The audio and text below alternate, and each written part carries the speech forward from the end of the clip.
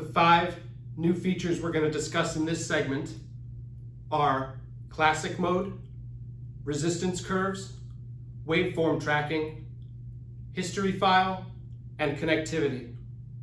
Okay, let's check out some of these Xo-Trainer features, starting with classic mode. Okay, here is our Xo-Trainer. This is an alpha model, and we've got it mounted to an aluminum frame right behind it there. So let's go ahead and talk about this classic mode thing, and that's gonna be able to be accessed by the flat curve, where we're only looking at one line.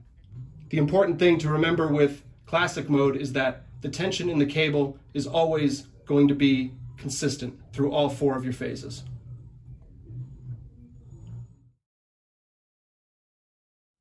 Okay, let's talk about resistance curves. You come down to the bottom of the screen here, give a tap, and you can select the curve type. Let's go with incline. So last time we were working with cable tension that was 20 pounds all of the time. So this time it's gonna start at 20 pounds, but as I go through my concentric phase, it looks like it's gonna increase to about 30 or 32 pounds. And then as I come back through my eccentric phase, it's going to be just the 20 pounds again. So let's try this out with our same triceps push down.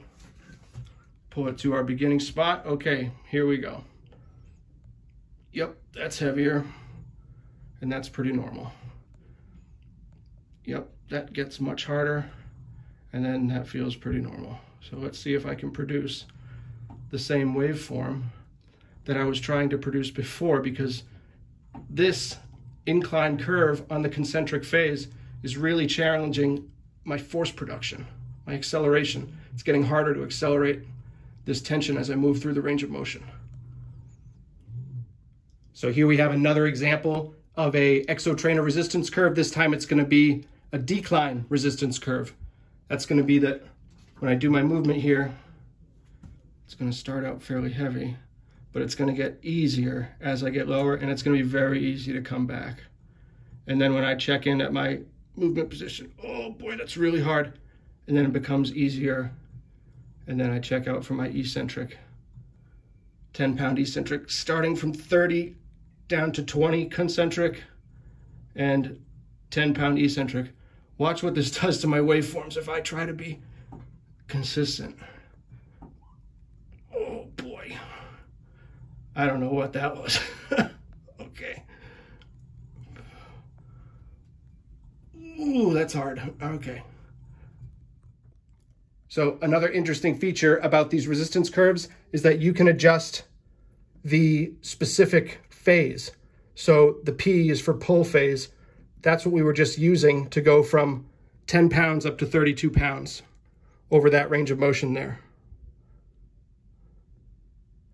We could also switch out our release or our eccentric phase and have it be such that it would go from 10 pounds at the beginning, concentric, through 32 pounds at the top, and then immediately switch over to 40 pounds at the beginning of the eccentric and finishing the eccentric at a load of 20. So this would be a very highly dynamic example of a resistance curve. Okay, this time let's use a traditional classic mode flat curve just at 10 pounds and let's get our EXO monitor running right out of the gate and let's talk about these waveforms. Waveform tracking with the EXO machine is very easy because as you come up to start your movement, it's going to register where you begin and it's going to register where you end. And then you can start to produce a waveform.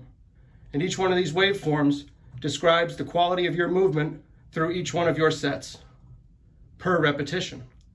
So let's start in the isometric long. Let's do a concentric. Let's do an isometric short.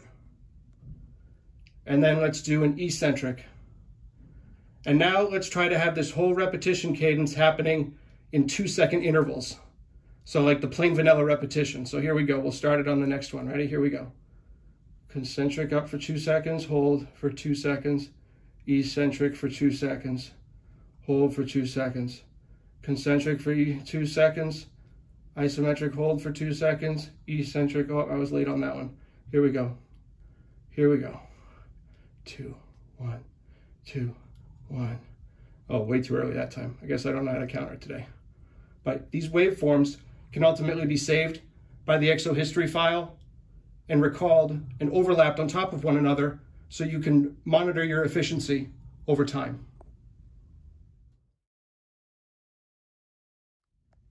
Okay, let's check out the EXO trainer history file. So the way I would activate this feature is I'm gonna perform a set. So I'm gonna go up here to the top and I will select a number of reps. Let's do five reps. And then I'm gonna come down here and I'm gonna select my exercise. So I'm gonna tap the screen, tap exercise name. I'm gonna come up here and give it a name. We're gonna do the incline one that we did from before. So let's call it incline tri press. Good. Now we have an exercise name, incline tri press. And we mean that in terms of the incline concentric curve right here. So as we go in to do our first rep, we're not going to get much resistance. It's just going to register where your initial and final positions are. So let's go ahead and take it up. Here we go. Let's go to the top. And that's where I'll finish. Going to come back down. All right. And now I'm going to start producing these little hash marks at the top of the screen with each one of my repetitions. Oops, I got to get the monitor going. And those hash marks are going to be my repetition counts. They're also going to be a scalar determination of the quality of my wave. So as you can see, I had to jump into the screen there for a second and I had a big mess up, certainly on my third one. But it automatically saved those five repetitions that I did. So now when I come over here, I can say, let's reset cable and let's just click history. And there's the curve that I used, there's the date, and here's the movement that I did, the incline tri-press and all the metrics that come with it.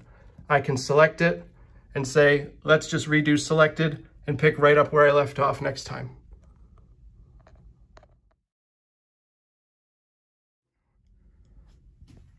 With the EXO UI active, we wanted to give you the most sophisticated biofeedback training experience possible through the use of our resistance curves and waveform tracking. But if while you're training and you still want to feel a little more traditional, these interfaces can individually be deactivated just by tapping on the eyeball icon. So now you could use the mirror as more of just a traditional reflection of your performance. You could also come down here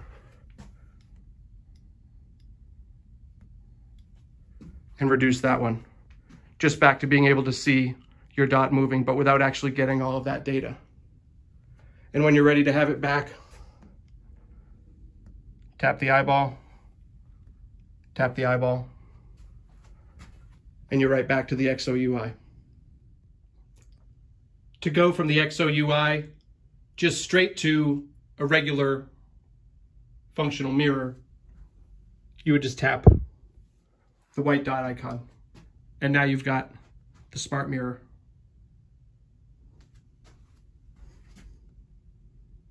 Tap the screen again to reactivate the EXO UI.